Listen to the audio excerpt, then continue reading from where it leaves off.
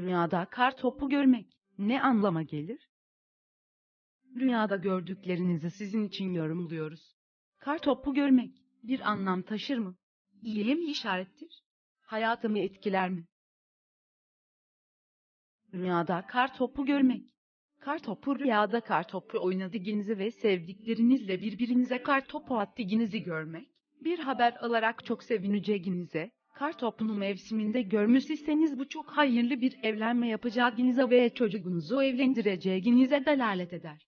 Bir başka rivayete göre de rüyada devamını Rüya Tabirleri kitabı.com'da okumak için aşağıdaki bağlantıya linki tıklayın.